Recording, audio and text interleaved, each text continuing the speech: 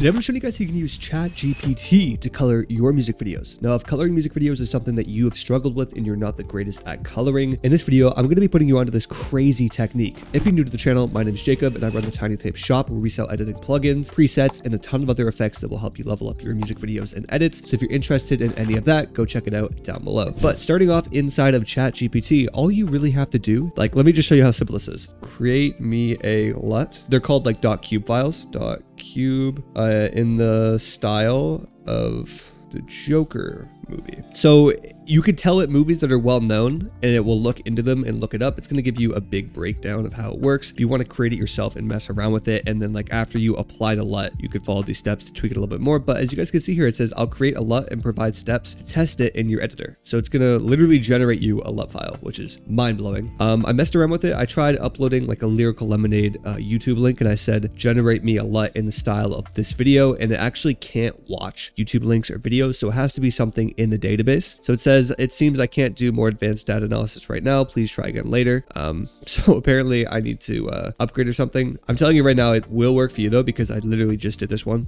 You guys can see here and you can download the Joker style LUT. So I think in the free version, you only have a certain amount of like data analysis amount you could use. So if you guys are interested in using this a lot, I recommend you upgrade to the paid version, but I did this five minutes ago using the uh, free version and you guys can see here, it lets me download the Joker style LUT. So all you have to do is click on it to install it and it's not letting me. So I'm going to log into a new account where I haven't used the daily limit. So I do the exact same thing in a new ChatGPT account and we're going to see it's going to generate just like before. And I'm going to go ahead and download it and not forget. So it says I'll generate a basic .cube LUT file you can use to apply this look. Give me a moment and it's going to go ahead and make that right here. So it generated the LUT file right here as you guys can see. We're just to click on it to download it and you're to see this time it's actually to let me download it. I'm to go ahead and install that right here. And now that we have it, we're to go ahead and use it inside of our editing software. So I have this raw footage pulled up here inside of Premiere Pro. We're to go over to Lumetri Color right here. If you guys don't have the tab right here, go over to window and open it up. It's a lot easier than having search it inside of effects and drag and drop it. We're going to go into creative right here, clicking on a clip, and we're going to go ahead and find a LUT on our computer. So we're going to double click on it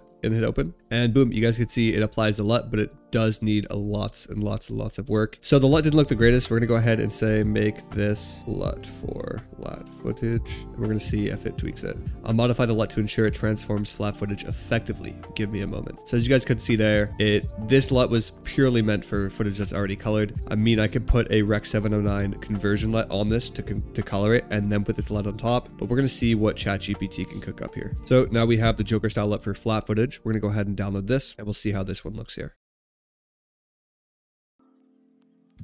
And boom, this one adds a lot more contrast to it. Obviously, it's not perfect. We're going to turn up the intensity here. And I'm really curious what this LUT is doing. So I'm going to go ahead and turn up the greens, turn up the contrast, turn down the shadows, go back into creative. And this LUT's really just like kind of adding like a blue tone, which does look like the Joker movie. If we go ahead and turn it on and off, it is adding some style to it. I wouldn't say it's perfect, but let's mess around with it and see what other looks we can get. Make me a LUT in the style of, let's do Fallen Angels. I'm gonna say make the contrast really bold. All right, we'll see what this cooks up here. All right, and now we have our LUT right here. We're gonna click on it and install it and we'll see how it looks. So for this, let's just reset everything so we can see how it looks on the flat footage.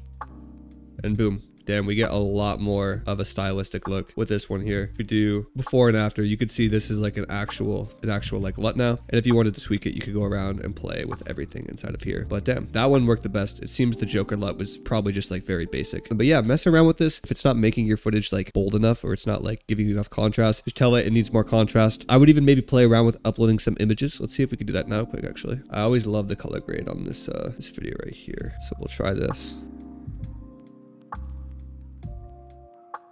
We'll upload this here. No, I want it this. Okay, cool. We'll see what it does now. I'm super excited. I hope I really hope this uh, matches the tones. Hints of red. And it's gonna make the LUT, which is which is nuts, guys. This is so sick. And we have our LUT right here. So let's go ahead and download this and see how it looks on our footage. Now keep in mind there's actually nothing red in this footage. So I'm really curious to see how it's gonna implement those tones. But we'll mess around with it here. And boom, I really think that does match it, like other than the fact that there's nothing red. All right, so that exact Weeknd video in my timeline now. And what we're gonna do to mess around with it actually, let me just scale it up first. All right, so we have this exact scene here that we used for the reference, right? What I'm gonna do is I'm gonna turn this into flat footage, just like turn the saturation down, turn the contrast down, turn the shadows up, uh, maybe put the blacks a bit, like get rid of them like that. And now we're gonna apply that LUT on here and uh, see what it does. Yeah, so it, it's pretty close. Obviously, it's not gonna match it completely, but it does make those reds pop. And you can just tweak everything else inside of here. Like I feel like if I just turn this up, boom, you guys can see the saturation really brings it back. And yeah, just wanted to test that right quick. If you guys enjoyed this video and want to see more topics just like that, yeah, it's definitely making only like reds and browns pop. That's really cool. You guys can see like in this video if we compare it to like the way it looked before, especially like this shot here. Yeah, that's awesome. If you guys enjoyed this, leave a like. If you want to see more ChatGPT videos, let me know. I have a bunch of other tricks I can show you guys that'll make you editing your music videos faster using ChatGPT. Go check out my website as well down below. I'll see you guys in the next video. Peace.